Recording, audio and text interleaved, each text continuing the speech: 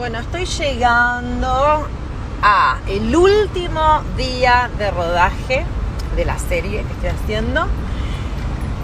Es la grabación más complicada porque tiene mucha letra, mucha letra y es bastante larguita. Eh, pero estoy fascinada, feliz. No, no puedo más. Estoy estacionando, estoy dentro de un estacionamiento. No es que estoy manejando mientras hablo con el teléfono y no hay nadie acá.